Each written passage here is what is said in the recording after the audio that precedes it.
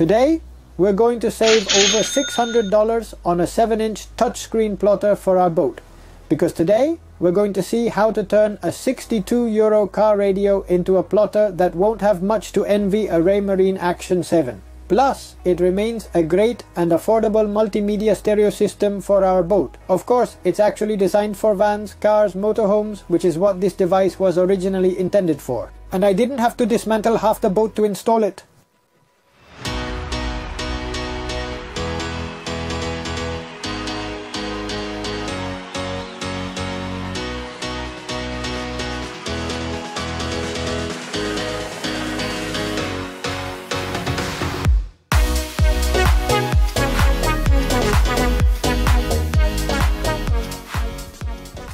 Greetings, sailors, and welcome to a new episode of The Low Cost Sailor. In today's episode, we're going to see how to turn a 7 inch touchscreen car radio into a great plotter for our boat. And here's what surprised me the most a radio that costs $60. We'll see how well it works as a stereo system for the boat, how to install it, and how easily we're going to be able to convert it into a touchscreen plotter for our boat. The best part is that we're not only going to use it as a plotter, but it will also help us monitor the boat's cameras, control the consumption from our solar setup, or as a virtual switch panel. And all that, I insist, for 60 euros. I must tell you, I had my doubts about it when I bought it on AliExpress, and I couldn't be happier. But it has a detachable face. How old fashioned am Yeah, I? That's yeah, not a thing anymore, front. right? The detachable face thing. I think nobody uses detachable faces anymore. In fact, I believe car radios are now extremely cheap because since all cars come with everything integrated, nobody changes the radio anymore. They are practically being given away. Uh, the external speaker of the radio on my boat had stopped working. It's not that I play a lot of music on board, but ever since I bought it, there had been a car radio for music with a couple of speakers inside and one outside that was water resistant. Well, checking everything for the summer, I realized that the outside speaker was busted and that not only that, the radio itself was sounding terrible, putting a lot of noise and distortion through the speakers. I was checking it out and noticed that it had gotten wet at some point, and although I could have perfectly done without it, I thought, well, I guess I'll have to change the speaker, since it was so broken that water was entering through its space. And I'm not going to leave a radio there that doesn't work, or worse, a hole here in the switch panel. So I started looking for the cheapest radio I could find on AliExpress. You can get traditional car radios with MP3 players starting at 10 euros, but I quickly saw that the possibilities, both in DIN format, the standard lifelong radio, and in DIN2 format, the larger square ones, are endless. And especially many options come with a 7 inch touchscreen, and here's the good part they come with integrated Android 12. Buddy, you saw the Android and thought I can load this up with stuff? Of course, I told you this is a tablet in the form of a radio. That is, most of these radios are as if they had a tablet built into them, and that, let me tell you, opens up a world of possibilities. So, out of the heat in my shopping cart, I ended up quickly opening a 22 euro waterproof outdoor marine speaker and a 60 euro DIN radio with removable touchscreen and 60 watts of sound power. Of course, I leave you all the links in the video description and in the post on our website. I specifically chose the option that has 2 gigs of RAM and 32 gigs of storage because you even have them cheaper. The one I took is this one. I said to myself, since I was going to change the radio, thinking about the things I wanted to run inside it, it would be better if it was a little powerful.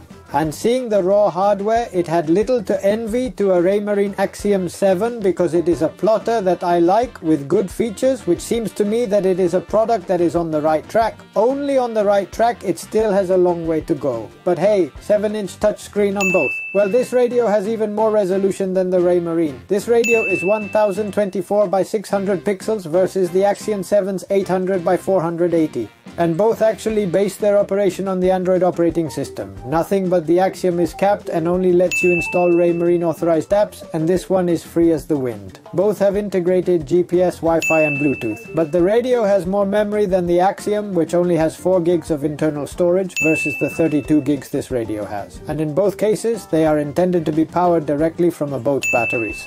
Well, from a car or whatever, but in this case, from a boat.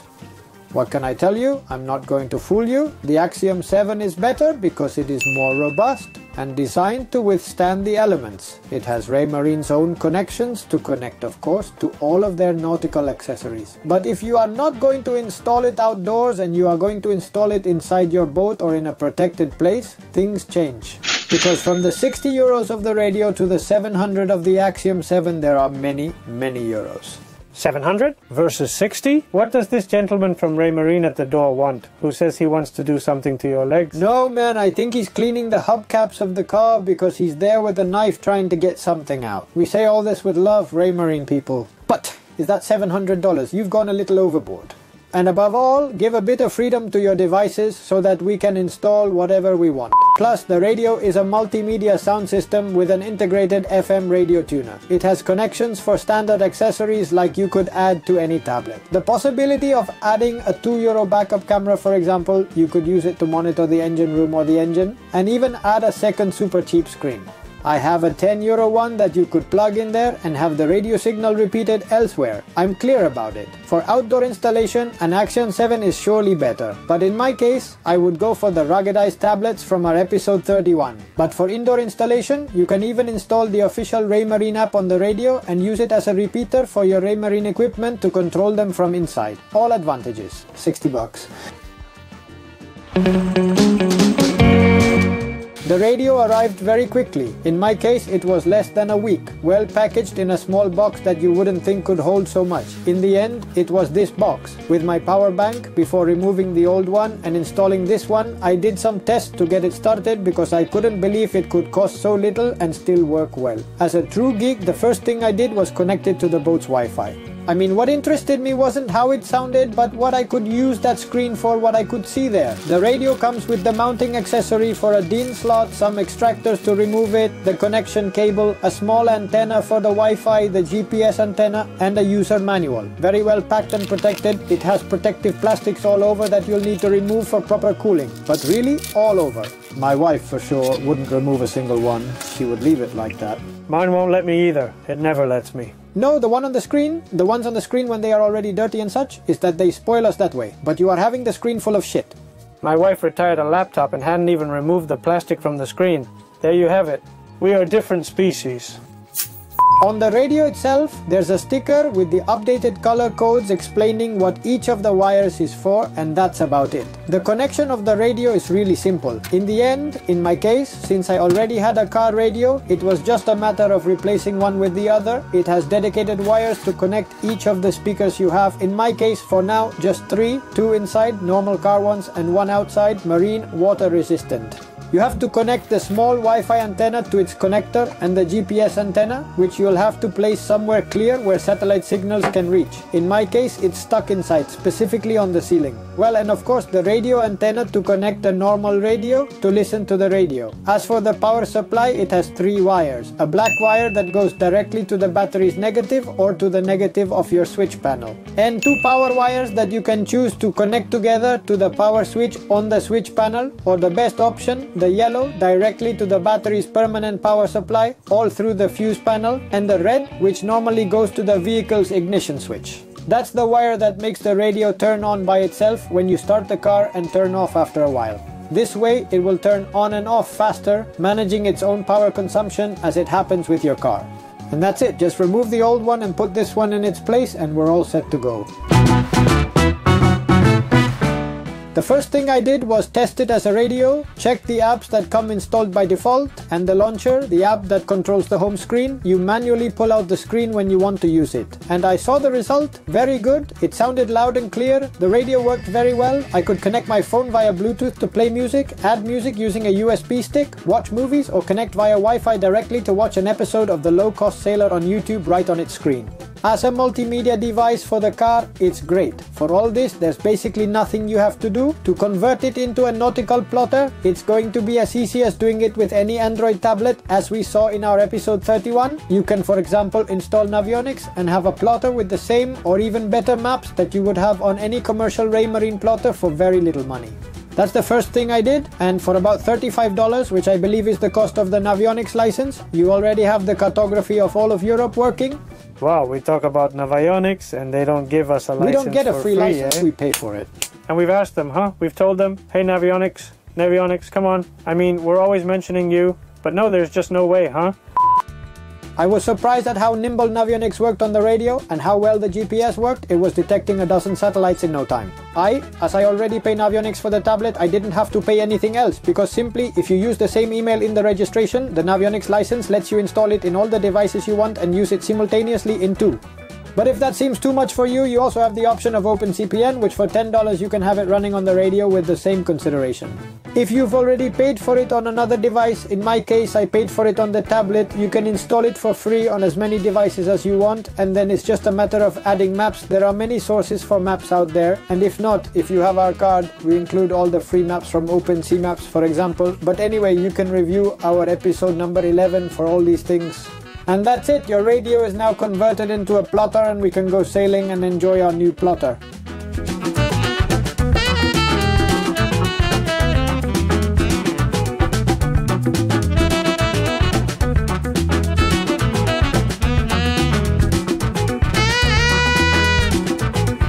But don't go yet, there's more to come.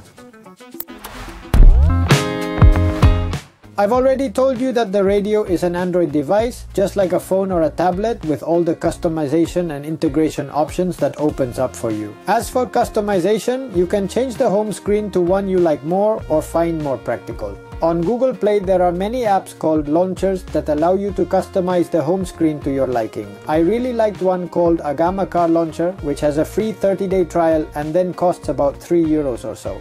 So I'll probably end up buying it because it looks one of the best. I'm going to put my logo there, nice and big in the center, which I love. It operates very similarly to others. This one has a very attractive car radio interface that you can personalize with the front logo by changing it to a custom image. Around it, you have shortcuts to various apps that you can customize by holding down on the option and choosing the app you want to open with them. I've set up shortcuts to the apps I use the most and find most useful to have on the boat and particularly on this radio. The first and quite obvious thing is that I want it to remain a radio because I also want to be able to listen to music with it. So the first option I've kept is the radio. Following this I've added a very useful option for me which is thanks to Wi-Fi I've installed the app droidVNC-NG. What is this?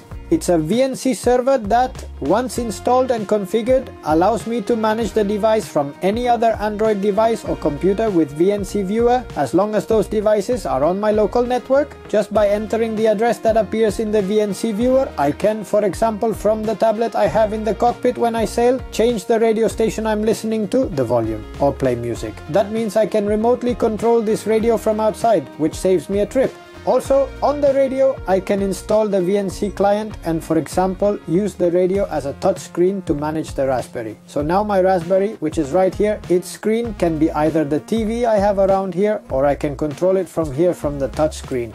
Or the tablet I already had. Or the tablet I already had. And its operation is identical to what we've done before to connect to the radio itself. I connect to the Raspberry's address on the radio and I can control it from this screen. In fact, this is very useful because it saves me having a dedicated screen for the Raspberry. And I can dedicate the Raspberry to what it does best, which is to gather data from all the electronics and make it available for all the screens. Configuring the Raspberry for this can be as simple as following our videos or buying the low-cost Sailor's SD card with everything already set up. So for example, on the radio, I can configure Navionics or OpenCPN to also display data from the AIS linked with what the Raspberry is obtaining.